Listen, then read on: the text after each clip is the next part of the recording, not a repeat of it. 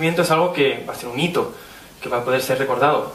Además me va a poder transmitirles a ustedes, hacerles partícipe de un experimento que yo creo que puede ser perfectamente catalogado como el más ambicioso de la historia, pero desde el punto de vista de los objetivos científicos, de los retos tecnológicos, desde también del capital humano, la cantidad de gente que está trabajando para este proyecto, así como el presupuesto, el tamaño, podemos decir que el, el LHC, el, el acelerador de partículas que tenemos en Ginebra, es, como digo antes, uno de los proyectos más ambiciosos que jamás se hayan creado. Juntando estas dos cosas, estamos hablando de, un proyecto en el que realmente yo me siento orgulloso de poder hacer partícipe a ustedes de, algo que yo creo que puede ser histórico, algo que posiblemente, si esto se confirma, estará en, en los libros de texto de, sus hijos, de sus nietos, de las próximas generaciones, y ustedes podrán decir que fueron partícipes de ello, que vivieron en esa época, estuvieron en, julio de 2012 y fueron conscientes de lo que estaba ocurriendo. Y eso es lo que he venido aquí, hacerles eh, partícipes de esto que algo, algo que yo considero que es histórico, en caso de que se confirme este descubrimiento.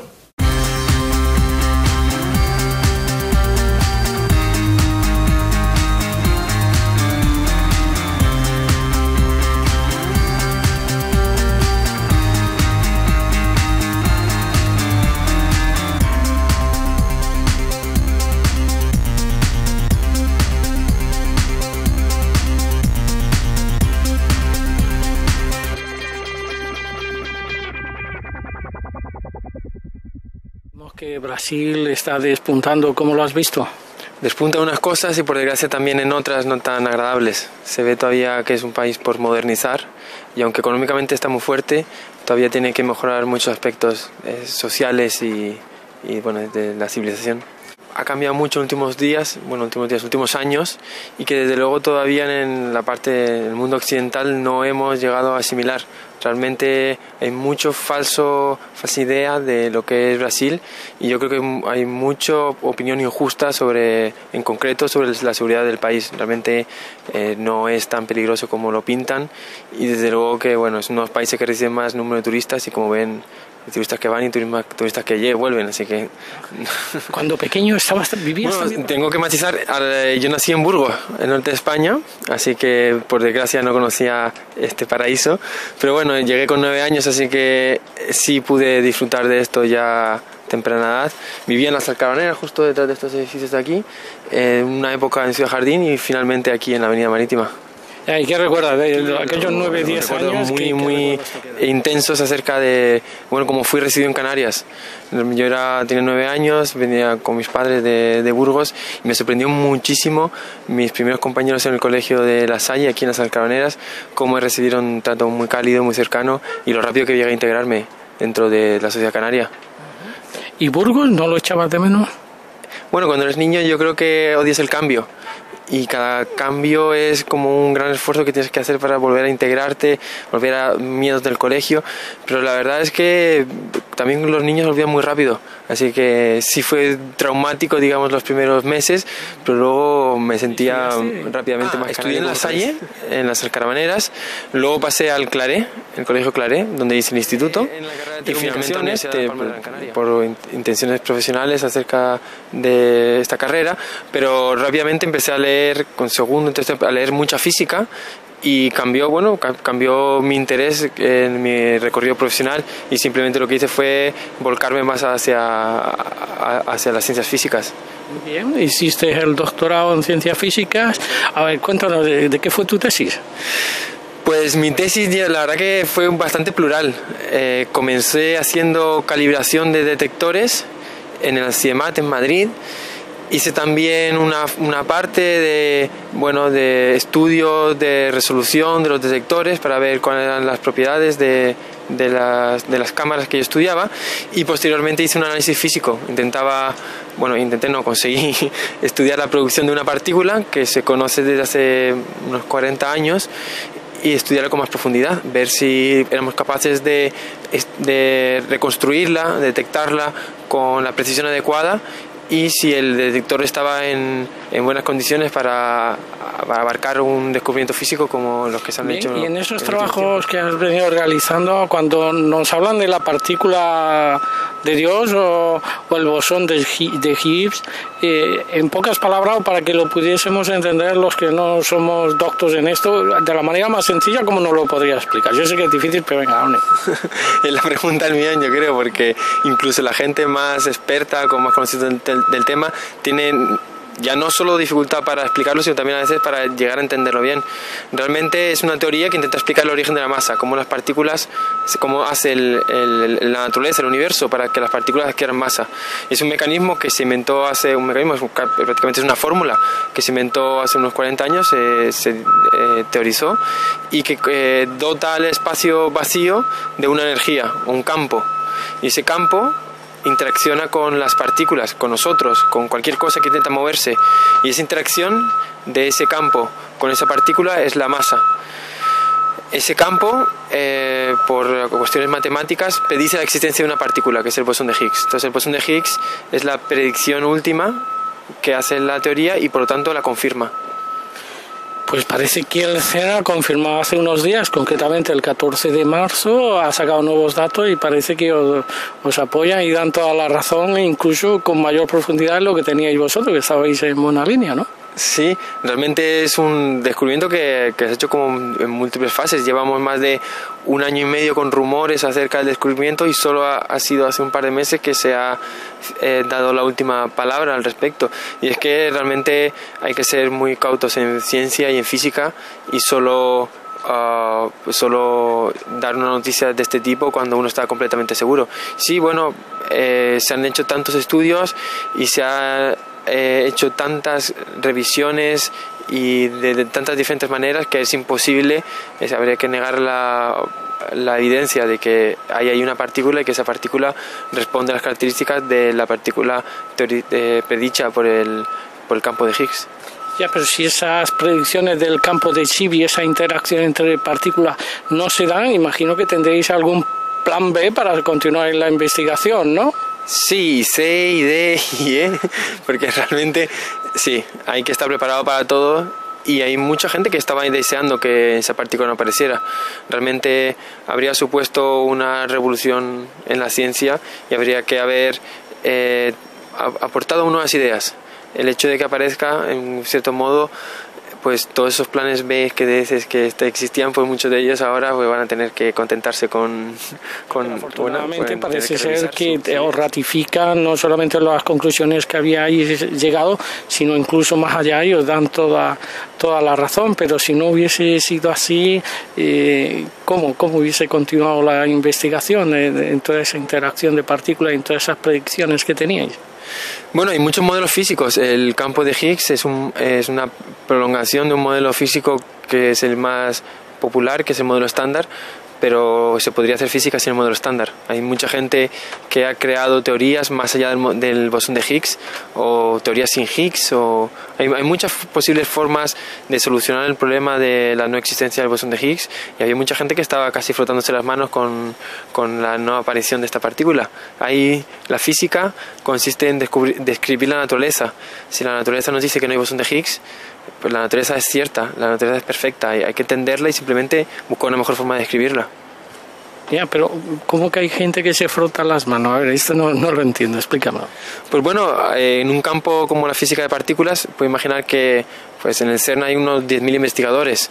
No todos hacen teorías de Higgs, hay gente que hace pues, modelos sin Higgs. Hay mucha gente que eh, es como, bueno, en, la liga de fútbol hay gente que va por cada equipo. Si gana el Madrid la liga, pues muy bien, pero si no gana, la ganará otro.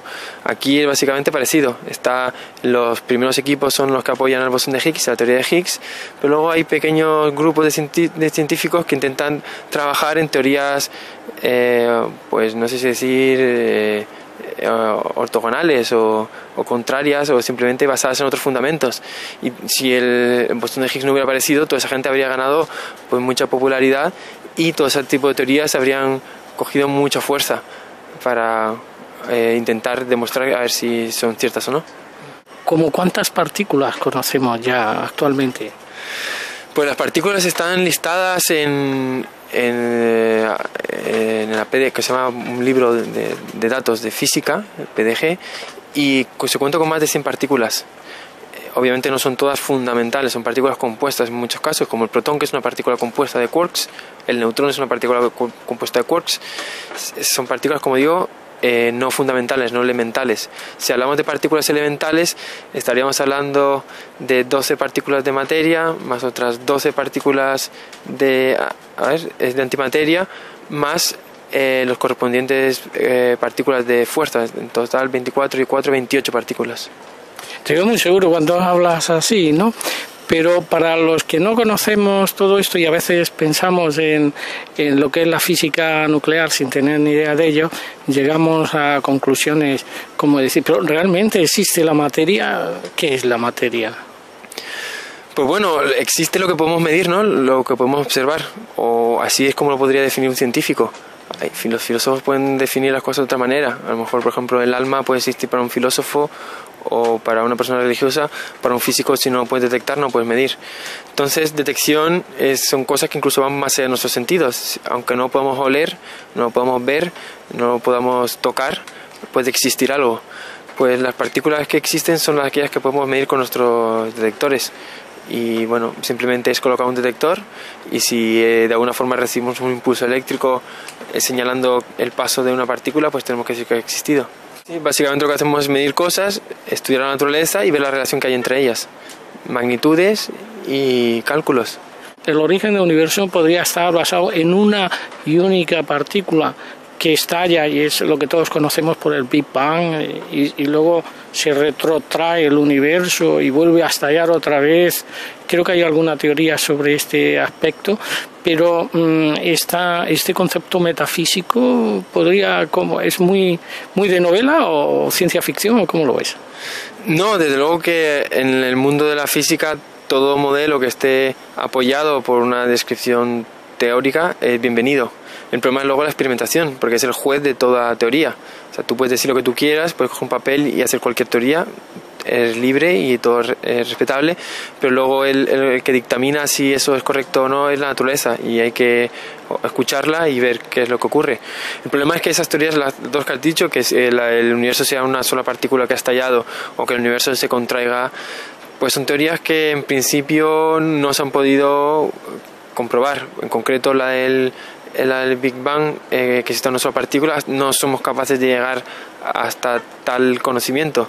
Nuestro conocimiento se para unas fracciones mínimas de segundo antes del Big Bang porque nuestras teorías eh, físicas no son capaces de llegar a un entendimiento mayor. Así que todo ese eh, conjunto de, preguntas son imposibles de ser eh, resueltas hoy en día. Sí que es una teoría válida, pero hoy en día queda como el resto de teorías es simplemente una más de ellas.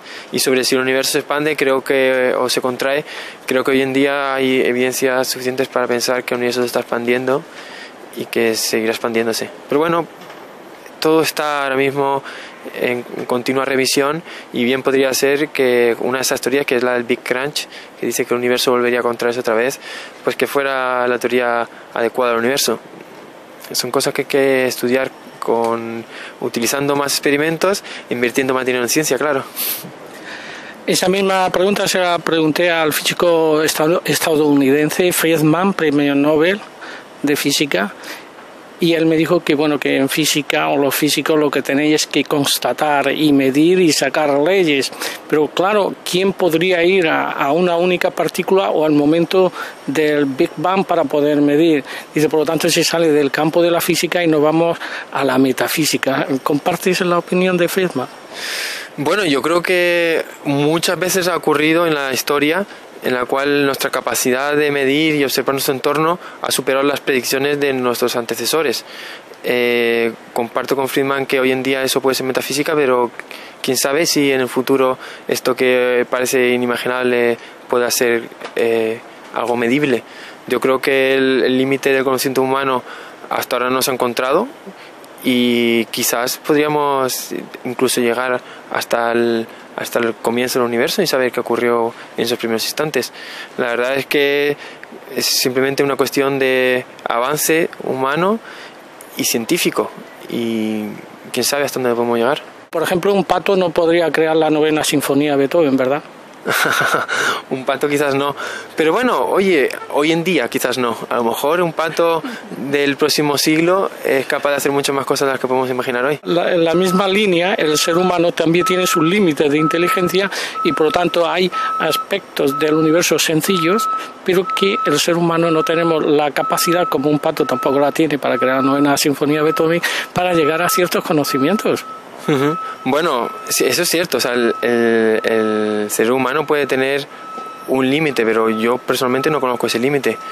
Eh, ¿Dónde estará? O sea, si estamos hablando del inicio del universo, yo tampoco veo tan descabellado que el ser humano sea capaz de entenderlo. El concepto de espacio y tiempo eh, yo estoy perdido. A ver si me puede echar una mano a encontrarme espacial y temporalmente. Pues bueno, el espacio y el tiempo nacieron con el inicio del universo todo lo que hay antes del inicio del universo, pues es como para nosotros hoy en día una barrera. Pero de nuevo digo lo mismo de antes, es una barrera para nuestro conocimiento actual. A lo mejor existía el tiempo anterior al Big Bang y no había ningún muro en ese, en ese aspecto, en el, instante inicial. En, en, cuanto al final, que haya alguna barrera, que el universo no puede expandirse, pues en principio estamos viendo que el universo se expande y que no, que no hay ningún motivo para pensar que pueda haber algún tipo de límite ni al espacio ni al tiempo. Pero bueno, son cosas que poco a poco se van descubriendo y el resto son simplemente conjeturas. Lo que podemos decir los científicos hoy es lo que sabemos, y es que el universo se expande y que en principio no hay ninguna cota para ninguna de las magnitudes que, estamos contemplando, ni el tiempo ni el espacio hemos sido capaces de, generar esta civilización que es capaz de preguntarse dónde está y todo eso es posible gracias a que bueno que el universo ha hecho su trabajo y ha dado lugar a, bueno a sistemas como el sistema solar donde ha habido posible la, generación de sistemas eh, complejos con capacidad de, de multiplicarse pero también de razonar. ¿Sabes dónde estás? bueno, eh, uno tiene más allá de su vida como científico, tiene su vida personal y no dejó de ser un ser humano, pues que, que sí, que sé dónde estoy, eh, en una vida social normal, familiar y bueno, eh, más allá de la ciencia, el tiempo, el espacio, uno intenta centrarse en su vida personal, que no deja ser la de un ciudadano normal y cualquiera, que ve la ciencia, pues bueno, primero como su profesión y segundo como una forma de responder las preguntas que intentamos hacernos del universo. Pero al fin y al cabo la vida sigue y, el mundo es el que es. qué es lo que está ocurriendo en este momento, de, qué hay crisis, qué, qué está pasando. Te lo preguntas tú también, imagino, como científico. Sí, claro, desde luego que, que, como científico y como ser humano, realmente uno es ciudadano del mundo y se pregunta por, por qué ocurren las cosas que ocurren. Eh, como además mi perspectiva personal, intento salir de esta burbuja científica e intentar entender un poquito cómo funciona el mundo en general y la sociedad en particular. Y sí, bueno, eh, es interesante, es una cuestión muy, muy interesante saber hacia dónde va todo esto, hacia dónde va nuestra sociedad y cuáles son eh, los impulsos y los motores de, de, este nuevo mundo que estamos creando. ¿Te queda tiempo para pensar en temas sociales o hacia dónde nos dirigimos, sobre todo a la sociedad occidental? O... Sí, he tenido mucho tiempo para pensar, para ver y sobre todo para experimentar nuevas, ver nuevas ideas, nuevas culturas, conocer otras formas de pensar. Y es cierto que muchas veces conviene hacer un parón, dejar la profesión de lado e intentar encontrar una forma, otro punto de vista de ver el mundo. ¿A dónde conduce todo esto? Bueno, conduce a lo que a lo que uno quiere que lleve, porque cada uno tiene su forma de vivir la vida y cada uno tendrá sus prioridades. En mi persona particular, pues intentar enfocarlas a una forma más respetuosa y más feliz de vivir la vida. Simplemente eh, el mundo está lleno de está lleno de, de, todo. Sí, el, mundo es como bueno, una fuente inagotable de creatividad, de ideas, de sensaciones, de emociones y no se pueden vivir todas. Cada uno tiene que buscar dónde vienen los mayores estímulos y su mayor, eh, eh, las mayores excitaciones en cuanto a las cosas que puede experimentar en la vida. Y bueno, simplemente intentando ver otro enfoque, ver otras ideas y disfrutar la vida de otra manera. Y tú para disfrutar la vida de otra manera en un futuro, ¿cómo focalizarías, bajo tu punto de vista como científico, los próximos años?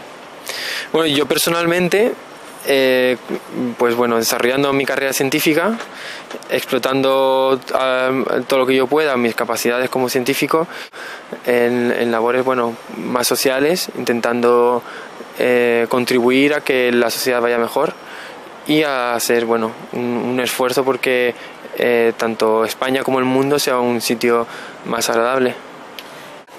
¿Qué, aprendes cuando haces esa ruptura con la investigación, haces un paro, piensas, reflexionas, qué, conclusiones sacas? lo primero que aprendes es sobre ti mismo, las cosas que más feliz te hacen, las cosas que eh, necesitas para, para, tener una vida más plena y preguntarte sobre cuál es, cómo te ves tú en el futuro. No a veces para y hace un alto en el camino para replantearse las cosas más básicas sobre la vida de uno. Entonces, bueno, aprendes lo primero sobre ti, luego aprendes sobre tu entorno, eh, cómo la sociedad te ve, qué es la sociedad espera de ti, tus círculos más cercanos, amigos, familia. Y luego aprendes en general ya no solo de tus círculos cercanos, sino como el, mundo como, como algo más global. Pues eh, hacia dónde va el ser humano y si realmente te gusta y qué, qué estás dispuesto tú a hacer para cambiar. Hay un dicho aquí en España que dicen todos los cerebros se nos marchan. Tú que eres un investigador que has tenido que salir fuera y que tienes toda esa vivencia, cuando tú oyes todos los cerebros que se marchan, ¿qué te dice? Pues en principio comprendo que esas personas hagan eso y en segundo lugar me da una tristeza enorme. Me da una tristeza enorme porque en principio el país está malgastando una gran cantidad de dinero en formar un montón de profesionales que no son luego capaces de retener. Y allá donde he ido siempre he visto gente muy bien preparada y muy bien recibida en los países a los que viajan. Últimamente en Brasil están llegando mucho español y con altas capacidades que España no es capaz de situar en los lugares que les correspondería.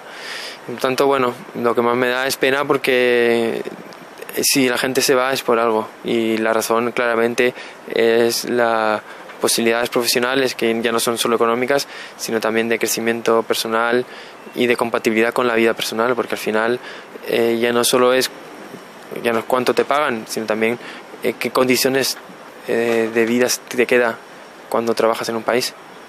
Sí, porque reconozco muchos casos de gente que estudia aquí en la Universidad de Las Palmas y termina en el CERN investigando partículas o en universidades como Stanford o Harvard y son muchos los que se marchan fuera y sois bien recibidos, os apoya, os da todo. ¿Qué, podría hacer España? ¿Qué ocurre en, en, las instancias políticas para poder retener todo ese talento que, que hemos ayudado todos los españoles a que lo obtengáis? Tenéis el talento, triunfáis en el extranjero, pero ¿qué podría hacer para que todo ese talento lo pudiésemos nosotros eh, eh, explotar como se explota una mina y no que vengan otros a explotarlo? ¿Se te ocurre alguna idea?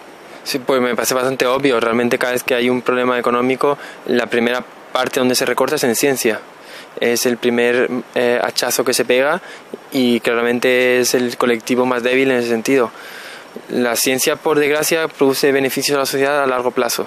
Generalmente muchas veces no se notan de un día para otro. Y esto hace que bueno que sea un, el sector, unos sectores más débiles porque eh, lo cortas y al día siguiente ni te enteras. Si cortas en sanidad o cortas en transportes pues claramente al día siguiente a lo mejor no puedes coger la, la guagua porque efectivamente no hay suficientes choferes.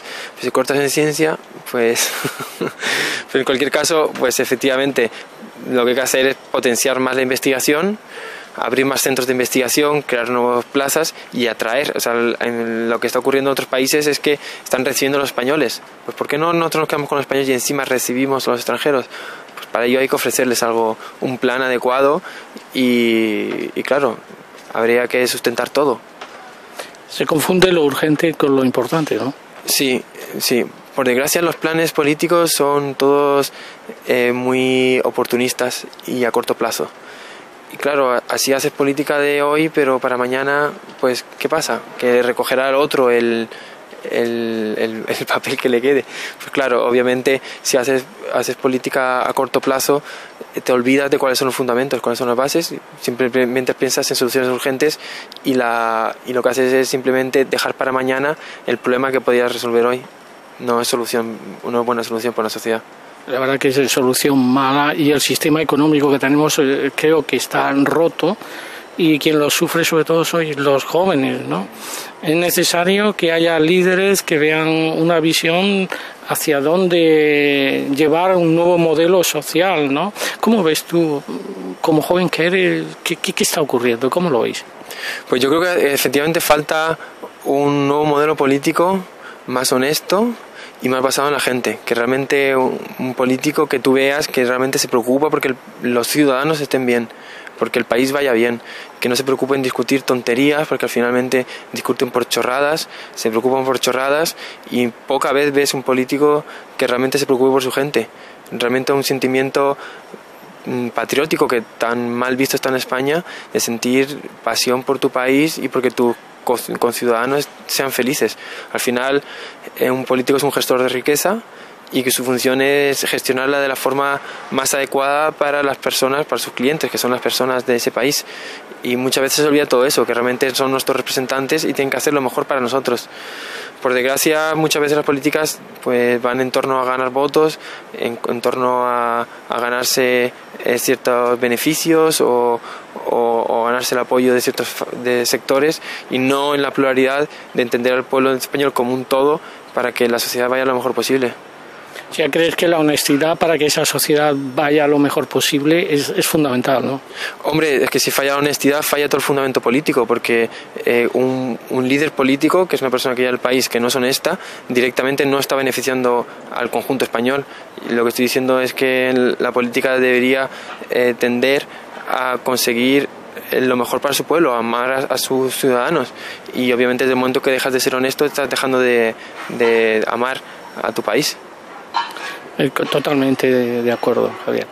Bien, Javier, tú sabes que en este momento, este año, creo, eh, la Fundación, eh, la Fundación Española de Ciencia y Tecnología ha sacado un nuevo concurso, lo que es Fame, FameLab en español, ¿no? ¿Nos puede indicar en qué consiste eso de FameLab? Bueno, es un concurso internacional que lleva celebrándose más de 10 años que surgió dentro de un festival de ciencia en una ciudad al oeste de Inglaterra y que hoy en día, después de 10 años, cuenta con una grandísima popularidad y apoyo por más de 25 países del mundo. España por primera vez y dentro de este, esta crisis tan profunda que estamos eh, viendo a nuestro alrededor, ha decidido apostar por un nuevo proyecto que es este que le estoy hablando y bueno, es una idea, yo creo que es muy acertada porque eh, consigue una de las cosas que más falta a la sociedad española y es conseguir acercar la ciencia al público general. Hay una brecha enorme entre la ciencia y el, pueblo y es una pena que esa brecha cada año parece ser que se abre más.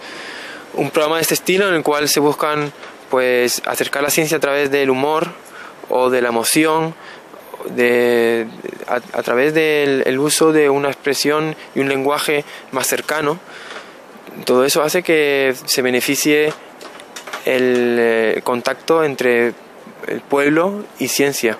Y yo creo que es una gran iniciativa y vamos a ver qué sale de aquí. vamos, vamos, vamos a ver qué sale de aquí. Una pregunta, Javier.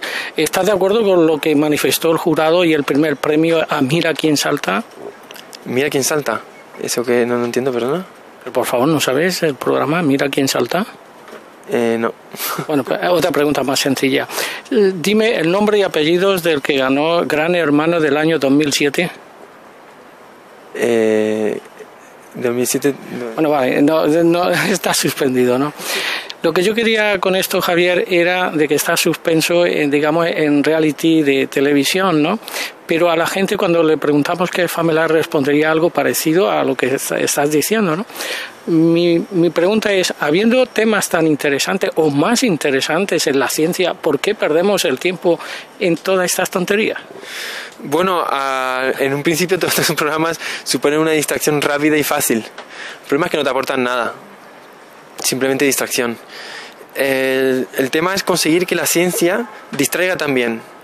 El beneficio de la ciencia es que, aparte de distraerte, te aporta.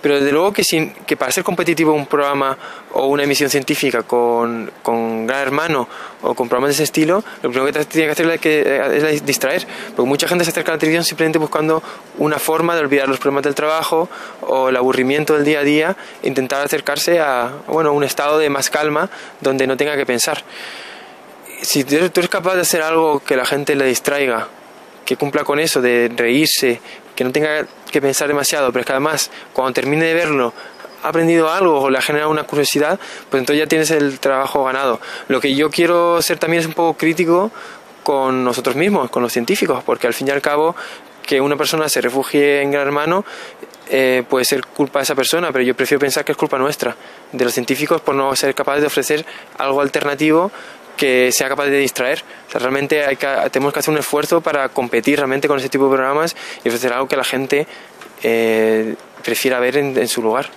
Por ejemplo, ciencia más humor, que es un poco famelable lo que pretende, ¿no? ¿Cómo ve un científico cuando lo imaginamos todos tan serios como tú, que le diga no y eh, mete el apartado humorístico dentro de tu ciencia. ¿Cómo lo vivís eso? Pues bueno, eh, dentro del perfil de cada persona está esa parte o no está. Hay muchos científicos que tú le dices cuéntame esto con humor y lo primero que hacer es darte la espalda. Y lo entiendo porque cada uno tendrá su forma de ver el mundo y su forma de entender eh, su profesión. A mí particularmente me gusta mucho, me considero una persona con un buen sentido del humor y que me gusta reír. Y por supuesto que si puedo aprovechar el humor para hacer que una persona se interese más por algo, lo voy a utilizar. Y de hecho lo utilizo. Para explicar temas tan complejos como el funcionamiento de diferentes bacterias, la genética humana, la detección de terremotos, con un punto de vista nuevo, muy divertido, original y que desde luego que es muy fácil de entender. Dinos algo como científico, ¿qué deberíamos de hacer las personas para dar un pasito más adelante en la felicidad? Bueno, es una, pregunta muy complicada porque el entorno de cada uno tiene, es tan diferente que bueno, lo que uno puede hacer resultarle felicidad, al otro le puede resultar tristeza. Hay gente que necesita mucho cariño, hay gente que necesita ambición en el trabajo, hay gente que necesita calma y otros que necesitan estrés. Pues simplemente yo creo que la clave para la felicidad, y no como científico, sino como persona, es entenderse mejor, conocerse mejor, sentarse, pensar qué es lo que uno necesita para ser feliz y aplicarlo. ¿Cuántos días estás por aquí? Hasta el sábado estaré por España, me voy a Ginebra un tiempo y volveré otra vez en mayo. Eh, ¿La agenda la logras lo que son amigos, familiares, la cubres toda o no? Pues la verdad es que es bastante frenético cada vez que vengo a Las Palmas, pero sí, lo primero que hago es eh, dirigirme a la casa familiar, ver a mis padres y directamente pues con los amigos todos. Bueno, ¿y tus amigos de, de allí de Brasil, dile algo. que me esperen porque volveré pronto, que vayan practicando al tenis playa, que es el deporte que más me gusta hacer, y que bueno, que, que volveré con las mismas ganas de, de seguir compartiendo y conociendo culturas diferentes. Pues nada, muchas gracias Javier. Hemos conocido, aparte de un científico como es Javier Santaolalla, a una gran persona. Quizás mejor gran persona que científico.